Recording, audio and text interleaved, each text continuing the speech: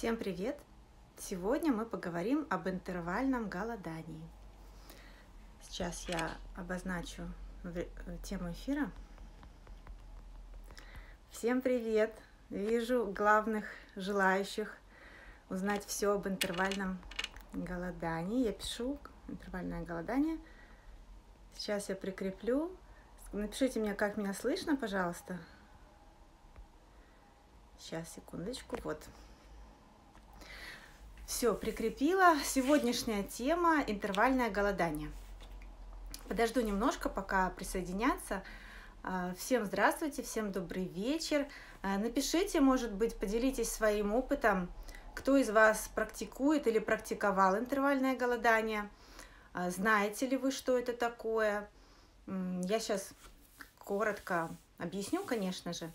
Вот, но интересно узнать, э, какой у вас опыт.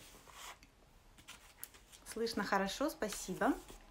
Всем привет. Вижу много знакомых лиц. Всем привет. Я голодала интервально и на воде, и даже на сухую. Но это разные вещи, да. Э, интервальное голодание отличается от эм, голодания на сухую и на воде. Это немножко разные понятия. Для тех, кто, может быть, э, не в курсе, что такое интервальное голодание, э, это когда мы ограничиваем приемы пищи э, во времени, то есть мы определенное количество часов э, едим и определенное количество часов не едим.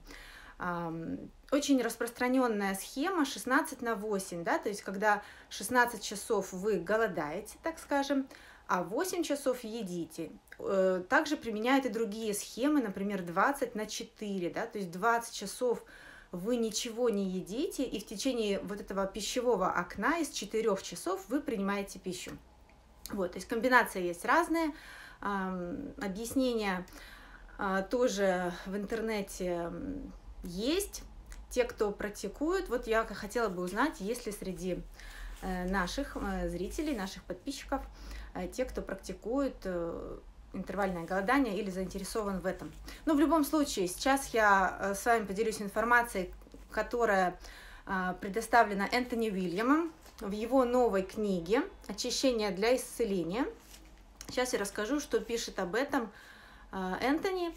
Вчера также он провел прямой эфир, в том числе да, по этим вопросам. Опять же, этот материал весь представлен в последней книге Энтони «Очищение для исцеления». Эта книга пока доступна только на английском, на русском языке перевода пока нет. Никакого опыта, хочу попробовать, только не знаю, как система Энтони совместить. Угу. 16 на 8 соблюдала, да, понятно. Хорошо. Все, спасибо всем за комментарии. Хорошо, сейчас мы начнем. Если будут вопросы, я думаю, мы успеем в конце а, обсудить все, что касается этого, этой темы. Итак, что пишет Энтони? Все, что я буду сейчас рассказывать, это сугубо э, материал Энтони Уильяма. То есть я в данном вопросе ничего не комбинирую, ничего не смешиваю, делюсь с вами той информацией, которая э, доступна в оригинале, да, в источнике, э, который э, предоставляет Энтони.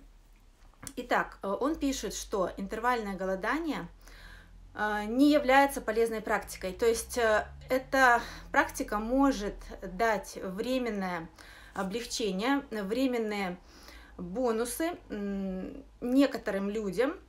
Э, и важное условие при этом, если вы не испытываете сильных симптомов. То есть, если вы человек, который э, уже столкнулся с серьезными симптомами и заболеваниями, то для вас эта практика особенно опасна. А для тех же людей, кто сталкивается с более Э, легкими, да, более незаметными, может быть, симптомами.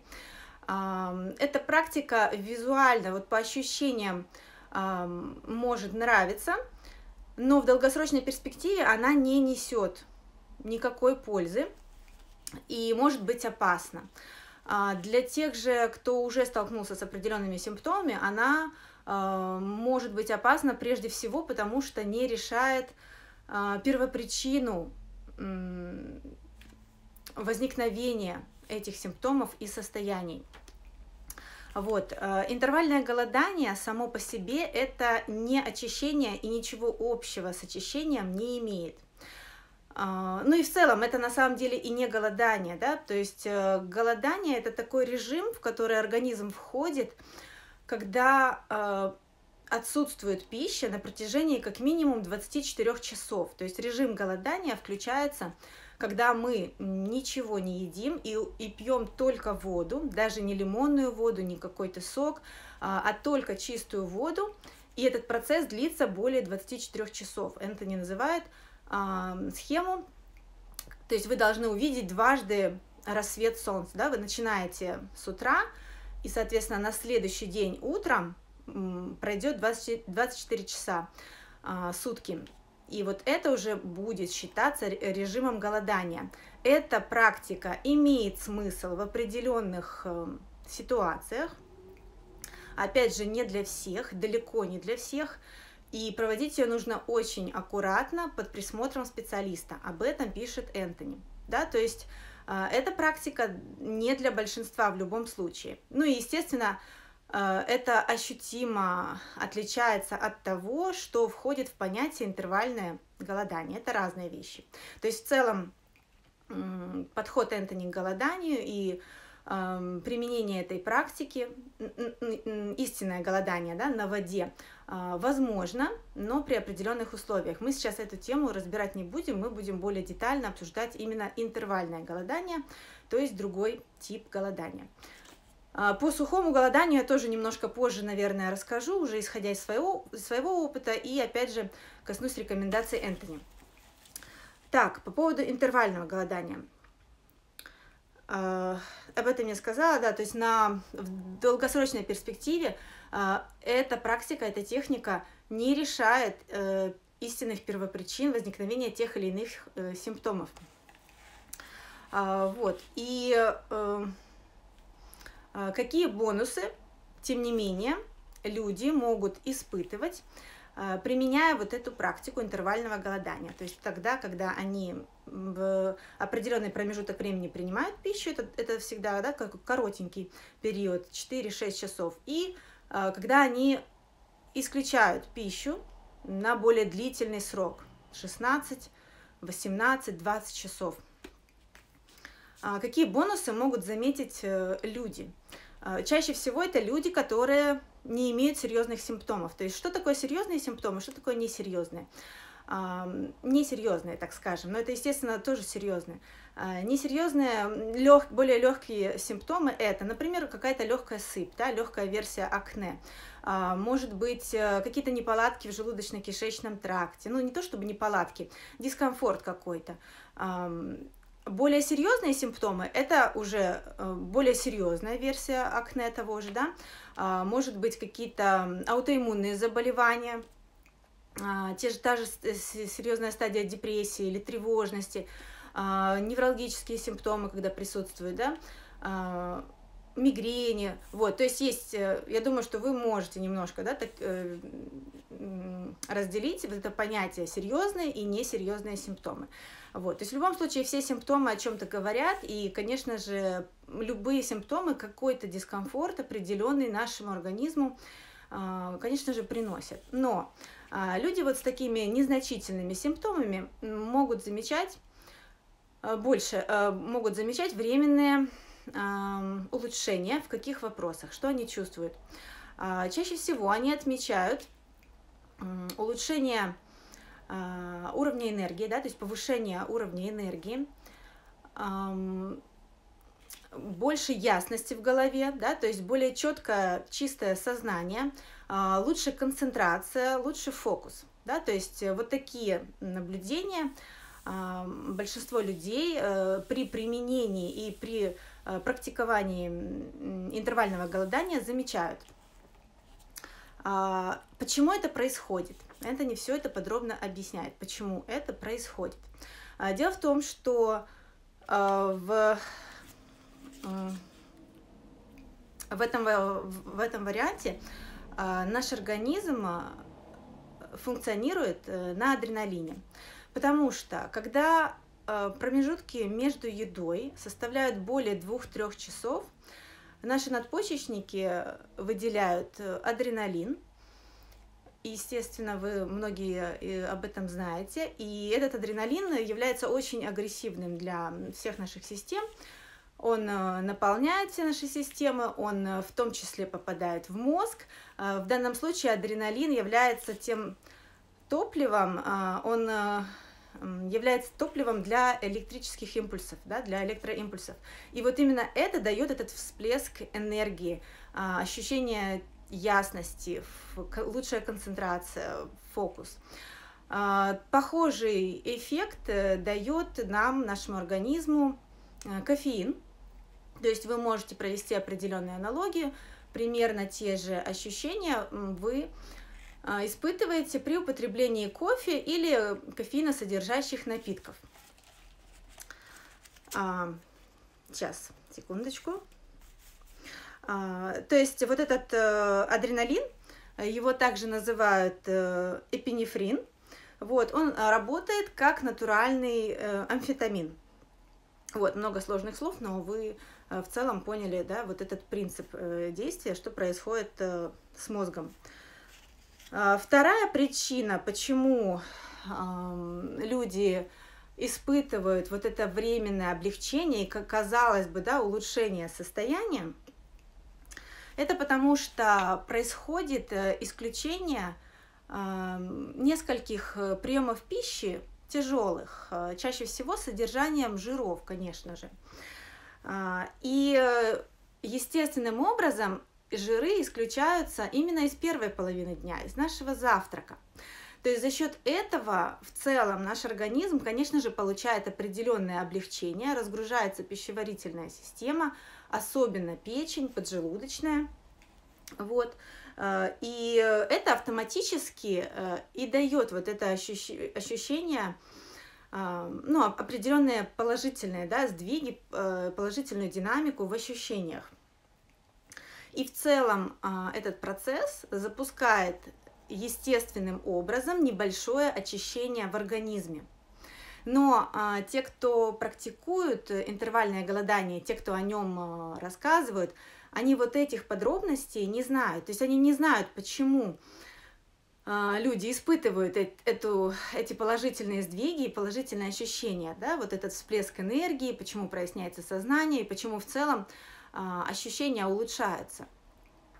Потому, потому что истинная причина в том, что количество жиров, которые употребляют эти люди, э, снижается. И в целом организм действительно получает определенный отдых, э, так как приемов пищи становится меньше, нагрузка на пищеварение меньше.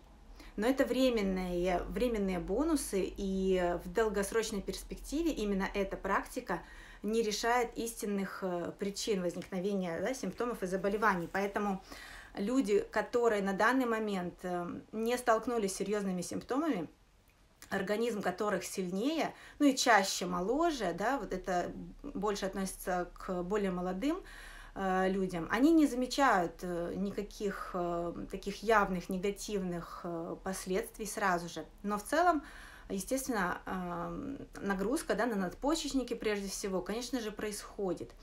А, и э, в данном случае имеет э, значение и состояние надпочечников этих людей. Поэтому ну, вы просто можете сами да, провести а, дальше, продолжить вот эту логическую цепочку.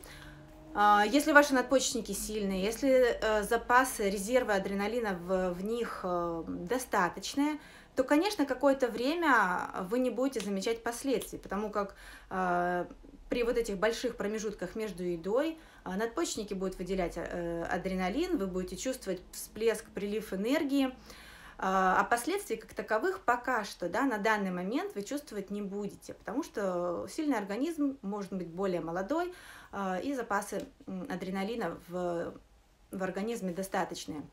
Чего не скажешь, конечно же, о людях, которые уже столкнулись с серьезными заболеваниями. Возможно, их надпочечники уже да, истощены, и эм, и в таком случае, конечно же, а, негативные последствия применения интервального голодания могут э, проявить себя гораздо быстрее.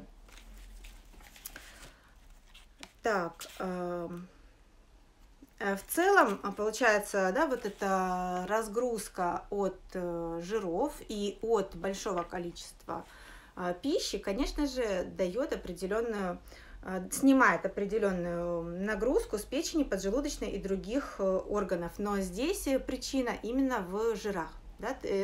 Именно вот этот момент специалисты по интервальному голоданию не объясняют, но работает это именно за счет снижения жиров. Дальше есть такая ошибка и достаточно распространенная ситуация у тех, кто практикует интервальное голодание, это э, функционирование на кофеине. То есть э, многие подсаживаются на напитки с содержанием кофеина, э, заменяют ими в том числе приемы пищи. И, естественно, это медленно, но верно оказывает большую нагрузку на надпочечники и э, в конечном счете их изнашивает. А, они постоянно выделяют адреналин. А, если это происходит несколько раз в день, то адреналин присутствует в системах постоянно, потому что он в любом случае задерживается в организме на несколько часов. И Конечно же, если вы в молодом возрасте, да, может быть, в 20, ну, 20 лет, то вы этих э, симптомов сразу не заметите, но если вам за 30, за 40, то э, вы можете почувствовать э, негативные э, симптомы в связи с этим. Э, и э, могут люди замечать э, стабилизацию веса или, может быть, даже снижение веса, да, такое желательное для них, э, желанное для них – это временно, это тоже временно, и э, из-за вот этой постоянной нагрузки на надпочечники и большой нагрузки на печень, э, из-за большого количества адреналина, да, постоянно присутствующего в крови, э, в итоге, в долгосрочной перспективе, с большой вероятностью этот вес как минимум вернется и может быть набран еще больше. Ну и чтобы вы понимали, как этот процесс в принципе происходит, э, когда в наших системах э, курсирует адреналин, это очень агрессивная субстанция, очень э, разъедающая все наши органы субстанция, и в этой ситуации в, на помощь, естественно, вступ, приходит печень. Она вынуждена впитывать этот адреналин в себя. А, получается, когда это происходит постоянно, да, длительно, месяцами, годами, а, изнашиваются э, и надпочечники, и печень. Э, ну, естественно, да, когда каждый из этих органов доходит до своего предела, вы неизбежно столкнетесь с определенными симптомами. А, когда печень будет перегружена этим адреналином, она больше не сможет полноценно выполнять все свои функции, и вот, вот как раз в эти моменты и может э, начать происходить тот же самый набор веса. То есть ваши такие, такая иллюзия а, да, успешного похудения и поддержания здорового веса, э, к сожалению, рассеется. По этой части вам понятно?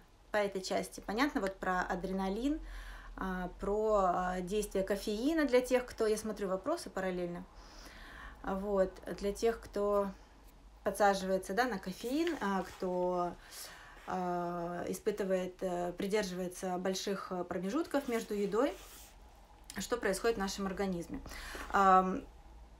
Если вы практикуете интервальное голодание и рассчитываете да, на определенное очищение, а, в том числе, например, хотите пройти программу 369, описанную Энтони Уильямом, это программа для очищения печени, а, она работать не будет. То есть очень, он, он не он не категорически против, он просто описывает, да, вот э, действия а, интервального голодания, объясняет все взаимосвязи, все последствия, которые э, оно оказывает, и объясняет, что это не очистительная практика, вот, поэтому она не совмещается с э, теми программами, которые он описывает в своих книгах.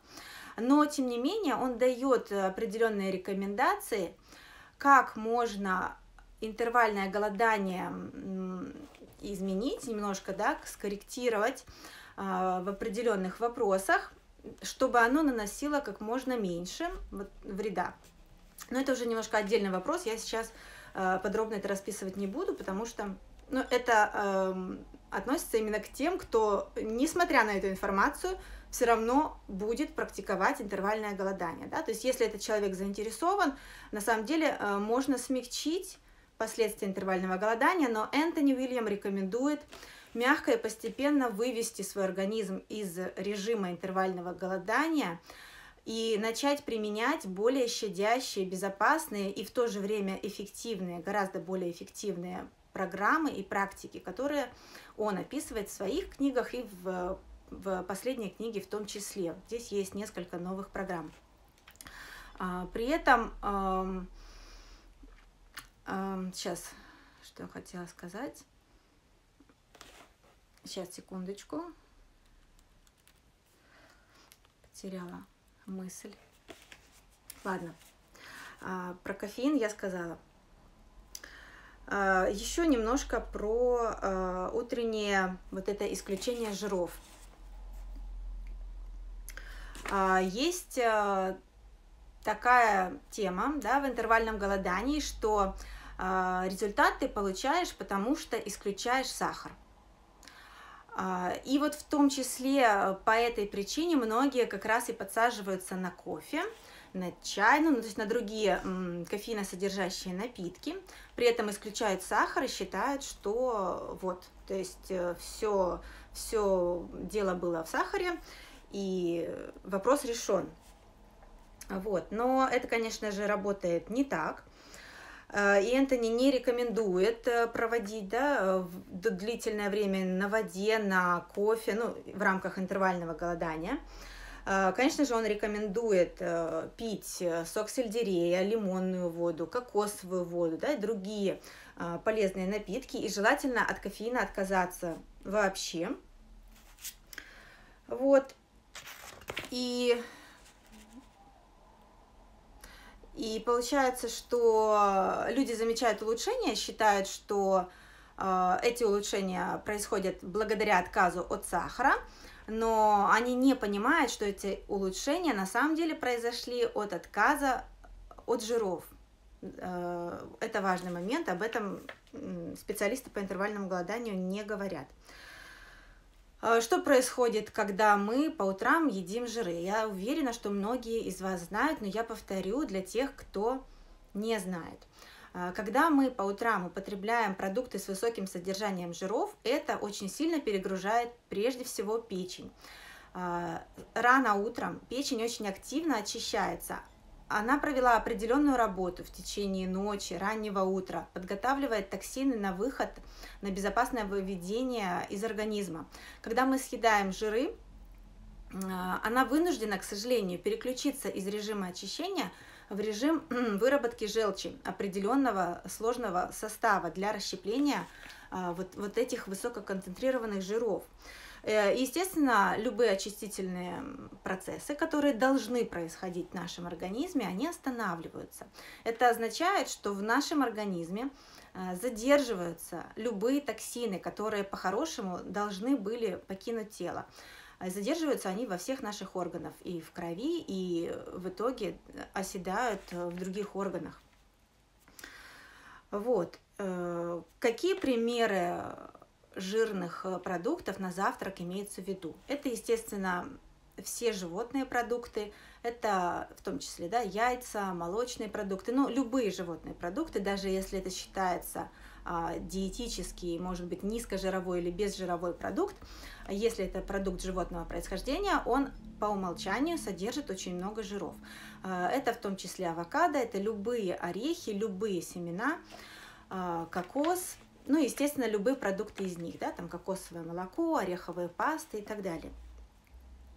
Вот, то есть, когда вы э, по утрам э, эти продукты употребляете, автоматически все очистительные процессы в организме останавливаются. Э, соответственно, те, кто в рамках интервального голодания, сами того не понимая и не зная, да, а вот об этом механизме, исключают э, такие примеры продуктов, то, конечно же, они получают определенные бонусы, потому что немножко разгружают свою пищеварительную систему, печень, а, и дают ей возможность отдохнуть и заняться очищением. Вот, поэтому интервальное голодание, по сути, сокращает жиры, но э, это э, происходит вот так вот неосознанно, да, по, случайности, а не э, без объяснения, как этот процесс на самом деле работает.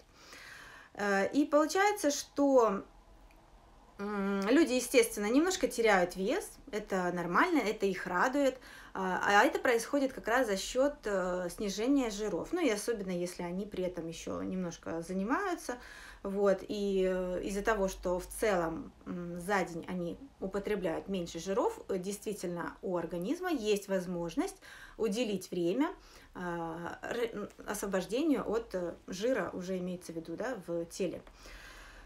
Вот. Ну и плюс получается, что промежутки, когда люди не едят, достаточно большие. Это 16, 18 или 20 часов. То есть получается в этот весь период в наших системах эм, жиры отсутствуют. Да? А, ну, во всяком случае, их гораздо меньше, они не задерживаются в крови надолго. И вот э, эта, эта ситуация тоже дает определенное облегчение.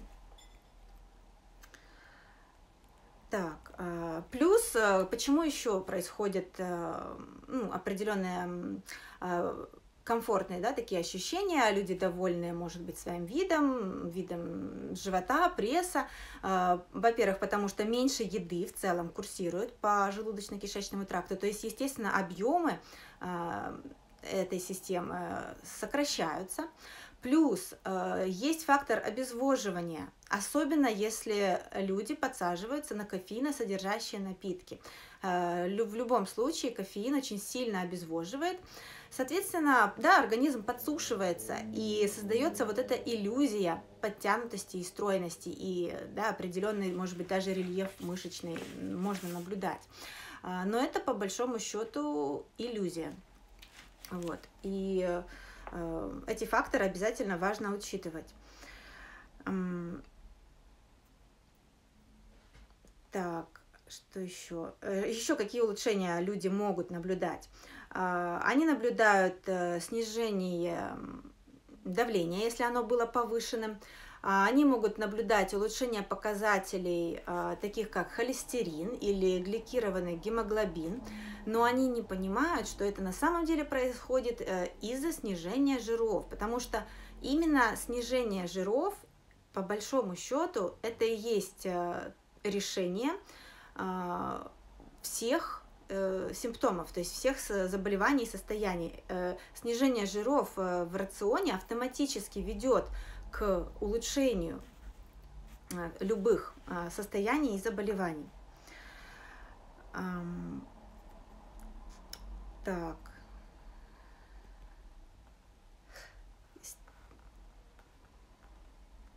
А дальше он пишет о том, что исторически, э, исторически это было замечено, когда люди переходили на цельное растительное питание.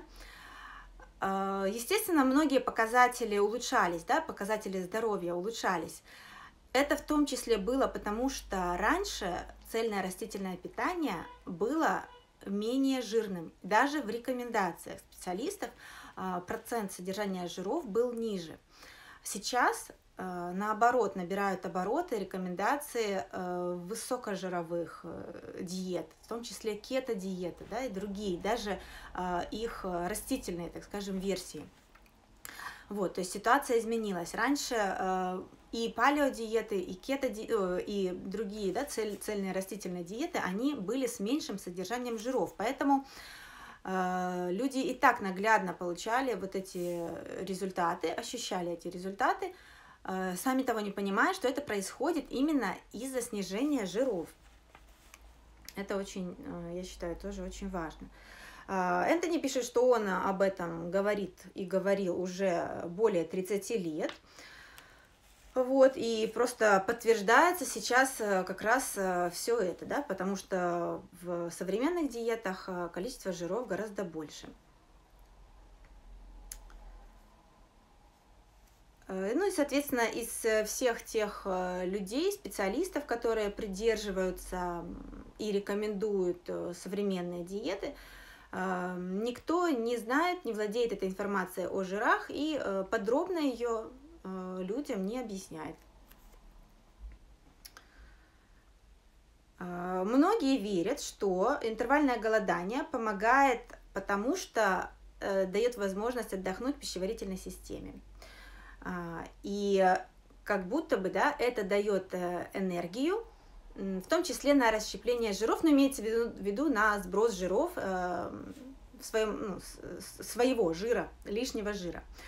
А, вот. Но э, на самом деле происходит немножко другое. На самом деле, э, ну это все я уже объяснила, да, то есть количество жиров снижается, это снижает нагрузку на печень. Вот. И, естественно,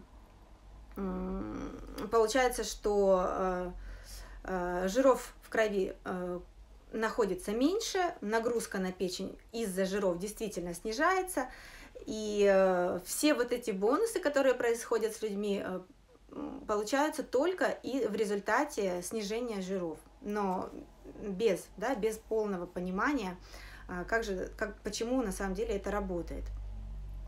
Вот. И диеты, в том числе интервальное голодание, они продолжают просто играть вот в эти игры, да, предположения, э, догадки, различные теории, э, без подробного объяснения, как это работает. Э, естественно, Энтони рекомендует применять другие программы, например, программу 369, которая тоже предполагает снижение и даже отказ от жиров, а, но программа составлена в другом, а, более щадящем для всех органов а, режиме. Она прежде всего направлена, естественно, на поддержку печени и на поддержку надпочечников, что очень важно. Интервальное голодание, конечно же, надпочечники никак не защищает.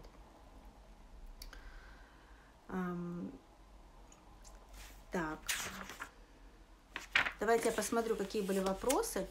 Э, все ли понятно по, по этому вопросу. И посмотрю, что я еще не рассказала. Понятно. Именно не насилуешь себя и терпишь голод, а просто не хочешь. И 16 на 8 само случается. Он об этом тоже пишет. Он как раз и пишет о том, что а, те, кто а, начинают практиковать интервальное голодание – действительно легко включаются в этот режим, это происходит автоматически, в том числе, кстати, потому что, ну, это если употребляется кофеин, кофеин а, очень сильно подавляет а, голод, подавляет аппетит, и из-за адреналина, который заменяет очень много, да, то есть он заменяет глюкозу необходимую нам и действует вот как этот амфетамин, да, то есть как э, замена, в том числе энергии, да, как э, вот этот всплеск э, для электрических импульсов, и, соответственно, это, это дает иллюзию энергии. Ну, точнее, это ощущается как на самом деле энергия. Вот, в общем, он пишет об этом, что действительно со временем те, кто практикует интервальное голодание, привыкают к таким большим промежуткам, и им кажется, что они не хотят есть. Но это ничего не меняет в организме происходит все то, что э, вот я описала в начале эфира. Э, изнашиваются надпочечники, перегружается печень. Вот, поэтому э, здесь сложно сказать, да, что естественно, а что нет. Если организм функционирует, да, если мы не ложимся спать, не идем спать, то есть если мы ложимся спать и спим там, я не знаю сколько, 12-14 часов, это одно. Но если мы функционируем и промежутки между едой составляют более 2-3 часов, то эти процессы автоматически включаются. Когда это происходит постоянно на регулярной основе, а, все системы изнашиваются. Здесь вариантов нет. То есть все зависит, конечно же, от ваших ресурсов, от э, резервов адреналина, а адреналин нам очень нужен. Мы его не должны тратить на вот эти вещи, на на, на вот такие экстренные ситуации. Адреналин нам э, нужен для э, других дел. Вот. Э, ну, собственно, адреналин вырабатывается абсолютно на все, на любые действия, на любые состояния расходуется адреналин, поэтому есть ситуации, когда он действительно нужен. Кстати, процесс родов, в, этот, в этом процессе задействованы огромные объемы адреналина.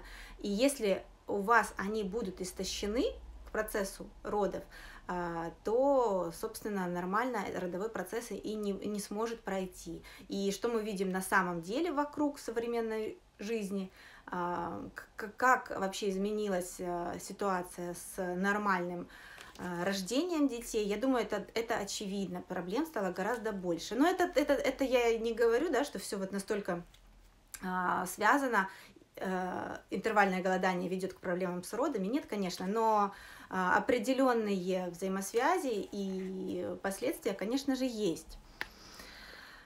А побыть на горячей воде до ужина считается голоданием, чисткой, стоит делать или бессмысленно?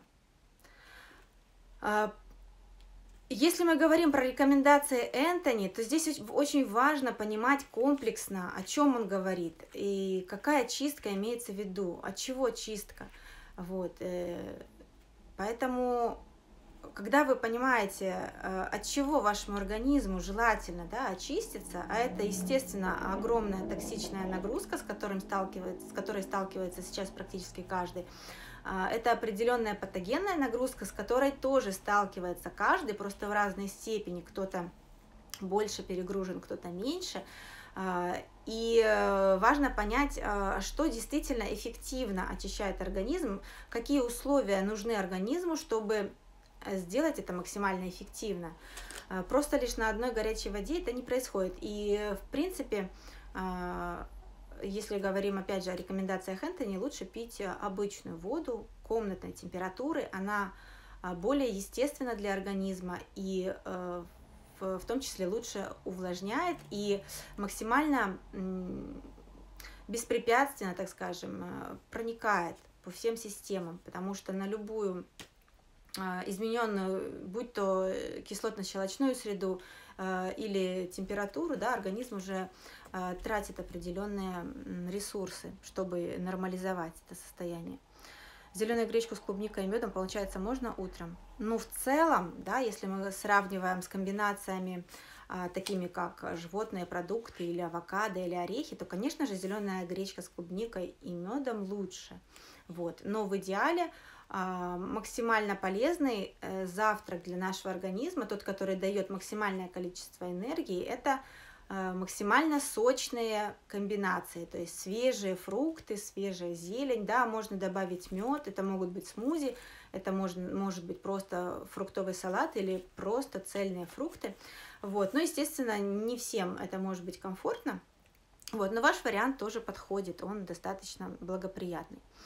До какого времени лучше исключить жиры, до обеда или дольше? Ну, в идеале э, приучиться исключать жиры до обеда, потому что до обеда это именно то время, которое организм максимально использует для своего очищения, и именно печень. Вот, поэтому вот эта практика утреннего очищения с исключением жиров до 12 часов, ну, примерно, да, до обеда, действительно самое лучшее, самое доступное средство для всех, чтобы запустить естественные процессы очищения в организме. Но здесь многое еще зависит в целом от вашего рациона. Мы уже обсуждали проблематичные продукты. А, и исключение жиров до обеда, конечно же, отличная практика, но если при этом остальной, да, вот в течение дня ваш рацион состоит из молочных продуктов, из яиц, из свинины, вот, и других э, проблематичных продуктов, то нагрузка на организм все равно будет большая. Поэтому здесь, конечно, важно в целом а, все анализировать. Все нутрициологи говорят, что жиры нужны для гормональной системы. Это неверно. А, Энтони а, пишет, что а, здоровая печень да, выполняет множество функций. А, около двух тысяч функций а, выполняет печень, и многие из этих функций а, современной науке, медицине и другим специалистам неизвестны пока еще. Вот. И жиры э, действительно задействованы в формировании гормонов, но этот вопрос актуален для беременных женщин, для детей, вот, для кормящих, у них происходят э, специфические процессы да, в их э, в, в, ну, вот в эти периоды, скажем, в детский период, в беременный период, в кормящий период, происходят специфические процессы, действительно. А, поэтому а, присутствие жиров важно. Вот. Но а, большинству людей, да, то есть обычным людям, а, можно не бояться э, сокращать жиры, как минимум сокращать. Никто не говорит про полное исключение жиров, всем поголовно, да, но тем не менее суть заключается в том, что без снижения жиров в рационе у организма не будет возможности оздоравливаться, очищаться и восстанавливать свои ресурсы. Вот, поэтому здесь уже каждый э, должен разобраться сам со своим рационом, и что для вас означает снижение, рациона, э, снижение жиров. Если вы практикуете вот эту утреннюю практику исключения жиров до 12, то, скорее всего, определенное снижение жиров в вашем рационе уже автоматически произойдет. Я так люблю авокадо, а какая замена ему? Ну, э, хорошо, что вы его любите, просто его можно употреблять в другое время, если мы говорим вот э, об этой практике утреннего очищения. Просто э, лучше исключить в том числе авокадо э, до 12 часов дня. После 12 часов можете его прекрасно употреблять, никто не заставляет отказываться от любимых продуктов. Авокадо считается самым мягким примером полезных жиров, поэтому даже если вдруг а, в какой-то период жизни вам а, придется или вы захотите отказаться от жиров, ну вот скажем, захотите пройти программу очищения печени 369, и а, в рамках которой нужно отказаться от жиров, включ... Э, даже от авокадо. Вот, это всего несколько дней, да. То есть авокадо это самый мягкий вариант. Как вы относитесь к водному голоданию? Вот э, Энтони об этом говорит, я, наверное, пропустила или сказала вначале, что это единственное, собственно, голодание, которое действительно имеет место быть в определенных ситуациях. То есть сухое голодание, конечно же, неприемлемо, оно а, очень а, травмирующее для организма, а водное голодание допускается.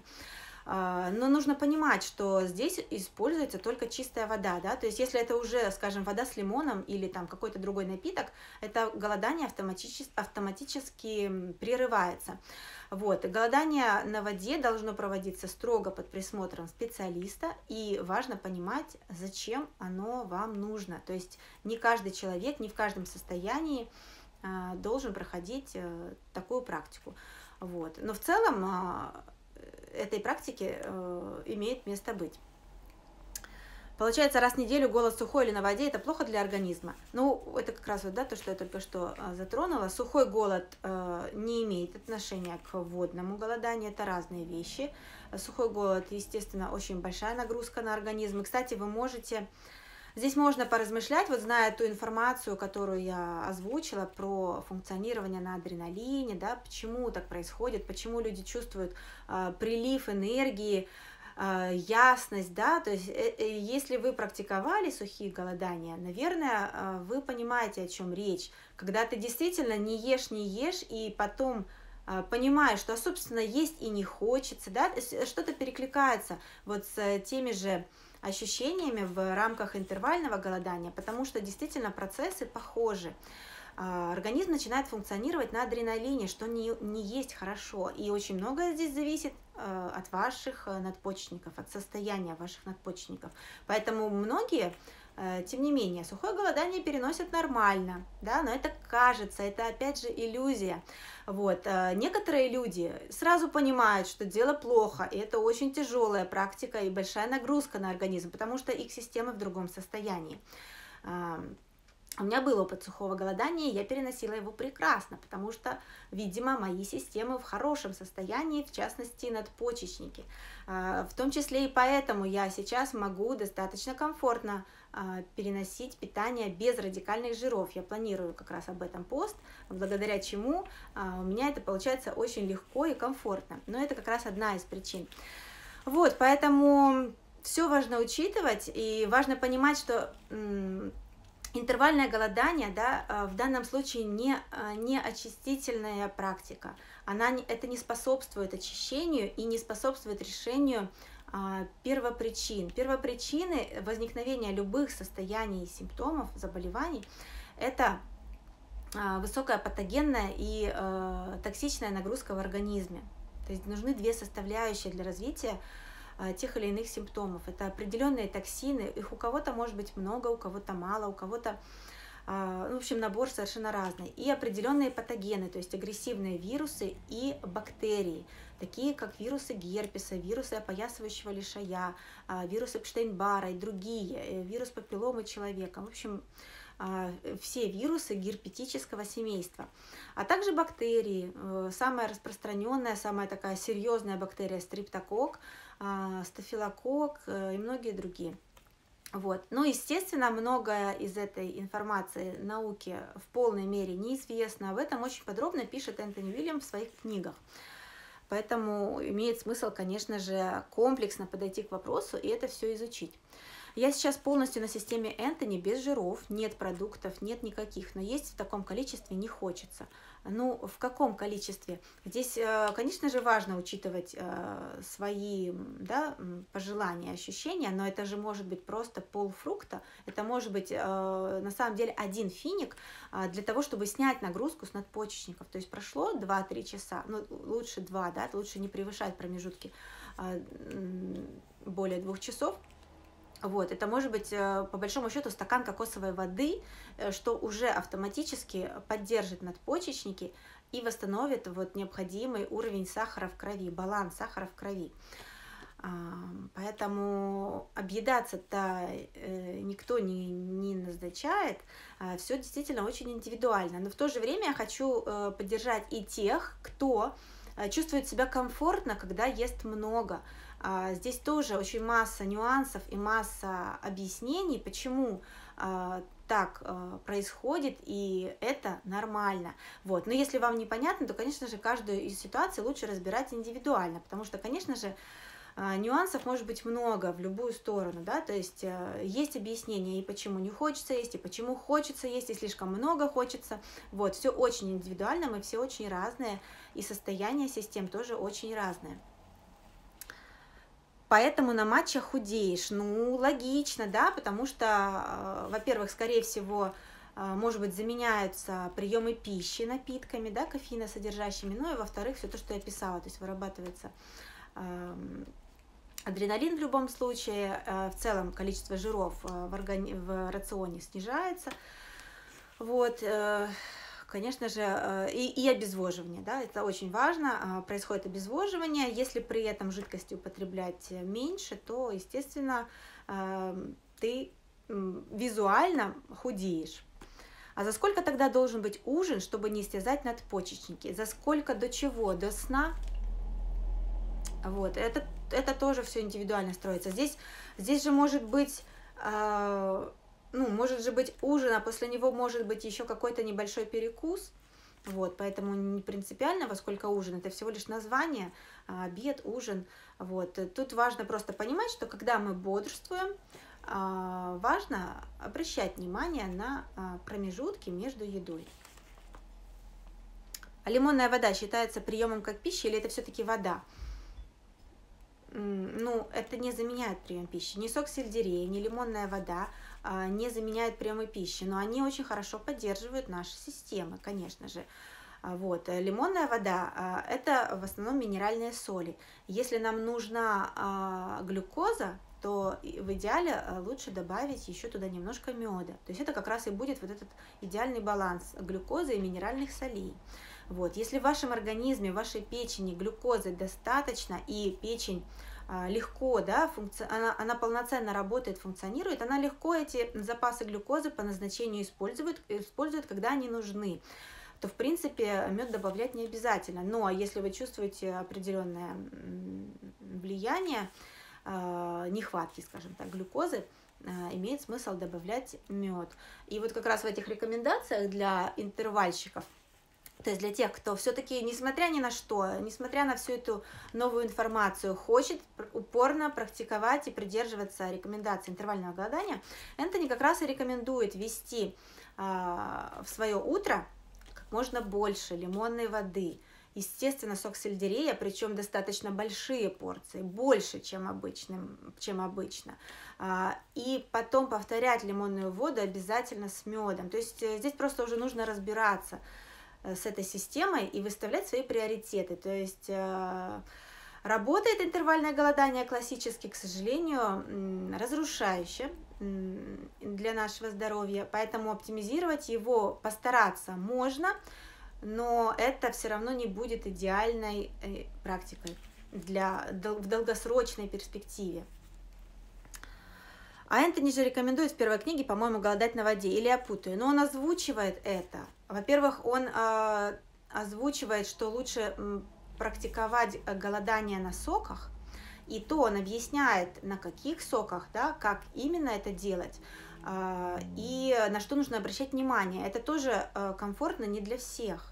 Вот, э, поэтому в целом, если голодание на соках а, проходит комфортно, но именно те голодания, которые описывает Энтони, да, а, это важно понимать, это совершенно разные вещи. Сейчас столько различных голоданий, в том числе на соках и на других каких-то напитках. То, что говорит и описывает в книгах Энтони, э, это одно. Важно разобраться в этих рекомендациях и понять, почему так. Вот, э, то есть если голодание на соках э, комфортно проходит – в целом можно попробовать на воде, потому что если комфортно проходит голодание на соках, это уже определенный показатель. А, но я, естественно, никому не рекомендую, и в рамках курсов, которые я провожу, никогда не рекомендую ни голодание на воде, ни а, полное исключение жиров, то есть никакие такие кардинальные изменения никому никогда не рекомендую, все нужно разбирать индивидуально, либо вы сами ответственно к этому вопросу подходите и изучаете. Подскажите, а кроме Энтони, Анна, какие методы вам еще близки? Ну, это, это такой достаточно общий вопрос, потому что в разных системах, в разных методах, так скажем, можно найти что-то разумное. Но э, зачем вот это все сейчас выдергивать и да, искать какие-то подтверждения? Вот в этой системе мне, мне импонирует это, а в этой это. А, мне, мне не хочется. В системе Энтони все гармонично, все понятно, когда ты в этом разбираешься, когда ты понимаешь, как это работает, за счет чего, а, и, и имеешь возможность это все практиковать и убедиться на собственном опыте, что да, это именно так работает. А, с утра легко ем фрукты, овощи, много пью, а вечером начинается кошмар, хочется все. Но ну, это распространенные вопросы, здесь очень много индивидуальных а, моментов, потому что причин может быть много. Возможно, вы не добираете калорий в течение дня, возможно, к вечеру перегружается ваша нервная система, и ей э, нужно вот это, да, чтобы как-то стабилизироваться. В общем, много.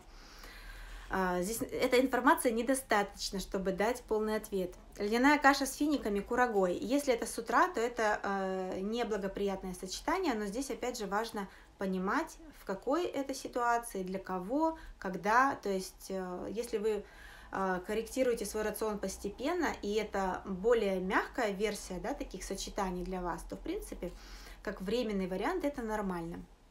Но в целом льняная каша с финиками и курагой – это нездоровая комбинация, это как раз э, жиры плюс сахара, мы это обсуждали, это, эта комбинация не полезна для организма. Но если это с вами случается раз в году, то это не страшно. До 12 часов дня исключить жирные продукты. А важно, во сколько человек проснулся? Ну, в принципе, важно. Конечно же, предполагается нормальное функционирование человека, да, и э, адекватное пробуждение – а, но в, имеет значение, во сколько вы легли. Ложиться желательно спать до 10 часов, ну, в 10, ну, 11 максимум. А, это важно для полного, полноценного восстановления всех систем организма. Если этот режим соблюдается, то, скорее всего, вы будете просыпаться в адекватное время.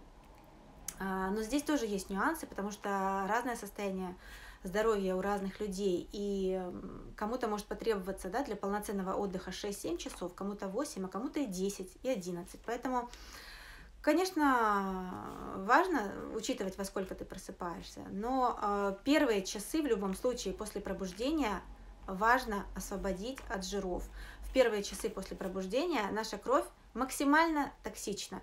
Это без исключения касается каждого человека независимо от вашего типа питания, от состояния здоровья и так далее, когда вы просыпаетесь, ваша кровь загрязнена токсинами, потому что это естественные процессы в организме. За ночь, в утренние часы наша печень подготавливает токсины на выход. Когда мы просыпаемся, очень важно помочь нашему организму это сделать, закончить, да, беспрепятственно э, вывести эти токсины из нашего организма. Каналы выведения для э, Э, нашего организма – это почки а, и кишечник. Вот, каналы выведения токсинов. Так, сейчас, секундочку. улетели комментарии. Если первый прием пищи в районе 11-12, у него можно жиров немножко, но это как раз сказала, да, то есть важно, а, тем не менее, первые свои часы бодрствования наполнить э, как минимум жидкостью. И второй момент – это энергией, то есть глюкозой. Критически чистые углеводы, которые и нужны нам для полноценного функционирования, в том числе это необходимое условие для полноценного очищения печени. Как понять, что печень здорова? Посмотрите, у меня пост, э, есть пост с э, симптомами того, когда печень перегружена. Но я вам сразу скажу, если в вашей жизни есть какие-либо симптомы, которые вас беспокоят, это означает, что ваша печень перегружена. Вот, поэтому печень здоровая – это когда все просто на высшем уровне, абсолютно все. То есть вплоть до того, что вас ничего не беспокоит ни с пищеварением, ни с уровнем энергии, ни с качеством кожи, волос, ногтей. Ну, естественно, ни, ни о каких э, диагнозах вообще речи нет. То есть э, что угодно, да, любые заболевания, которые вам приходят в голову, если каким-то боком они вас касаются, это означает, что ваша печень перегружена. Ну, соответственно, если никогда в жизни вы ни с чем не сталкивались, есть вероятность, что ваша печень очень сильная. А, здорова она или нет, это другой вопрос. Это как минимум говорит о том, что она очень сильная, и она на данный момент вас максимально защищает. Детский период до скольки лет? Ну, э, подростковый э, в том числе, это э, до подросткового периода включительно. Анечка, рацион чищу постепенно, тяжелее всего с молочкой и хлебом. Понимаю. Понимаю, всему свое время, мы все э, по-разному этот период проходим. Э, важно дать себе время, но важно просто разобраться полностью да, в информации, понять, что это несет, как это действительно отпечатывается конкретно на вашем состоянии здоровья, на ваших э, симптомах. Вот, и, возможно, это постепенно как-то даст больше уверенности и понимания. Эм, так, эм, пробовали делать сметану из кир? Так, я вижу, это вы комментируете и советуете, молодцы. Как понять, есть или нет высокая патогенная нагрузка? Но опять же, по симптомам, а, по симптомам почитайте первую книгу Энтони Уильяма, где он расписывает э, и объясняет э, множество симптомов и состояний, в том числе практически любые вирусные симптомы.